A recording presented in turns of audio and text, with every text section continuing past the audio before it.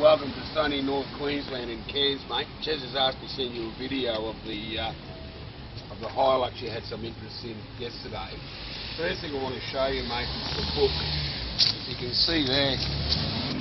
First people that owned it was the Queensland Police Services Transport section, and the, the service history in the book is pretty good. The police services did have the car up to 100. Its next service is due at about uh, 70, I think it is. So the service history is quite good on this car. Um, if you have a little bit of look around, I'll start with the engine. I'll open it up for you and start the car.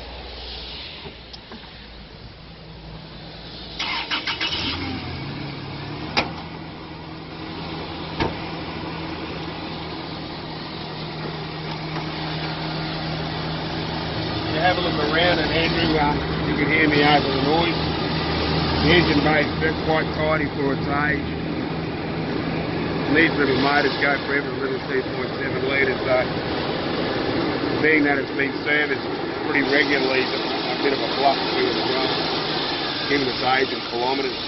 I'll just take you around to the driver's side and um, let you have a look inside of the condition of the vehicle. And again, the car of the age, see that it's in quite good condition.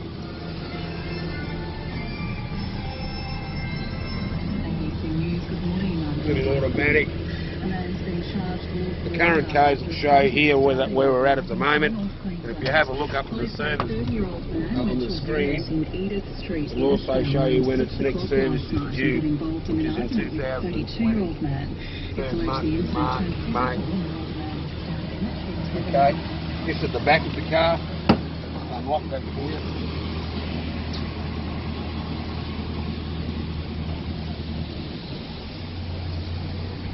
that, my wet hand. The rear seats virtually hardly even look like they've been sat in. Was deliberately lit. Police and fire investigators are at the Southport State High School this morning. Just at the back of the top, the previous owners put in a different floor, so to speak. Cut it size. You may want to keep that in there or take it out, but that's up to you. Underneath, as you can see, a little bit of surface rust, but nothing to be concerned about.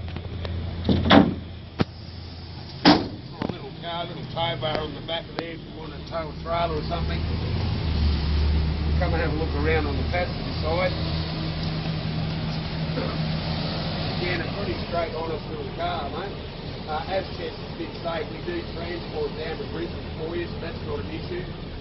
And again, we did discuss something about an RACQ report. If you book it into our local RACQ office here in Cairns, I can get it down for them to give an inspection. Between you and them, so I'll send the inspection to you. Anything there that's untoward, that's roadworthy, which I don't think you'll have an issue with, we'll certainly look at that and get that rectified for you. Hope that gives you enough information, Andrew. I will send this via a, a YouTube link. Uh, if you have any questions, you'll have my details. By all means, do give me a call. Thanks, mate.